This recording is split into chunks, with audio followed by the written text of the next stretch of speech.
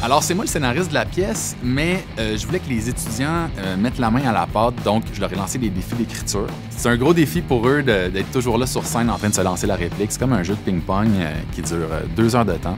Puis on a bâti les personnages ensemble. Ils ont, trouvé leur nom de personnage. Donc, c'est comme une création collective, mais dirigée selon des contraintes que, que- je leur ai données. Je voulais vraiment qu'on travaille sur cette affaire-là. C'est un show qui est, qui est vraiment rock, qui est brut, qui a beaucoup de chiens. On vous invite à venir voir ça du 27 janvier au 4 février 2023 au Théâtre Rouge du Conservatoire.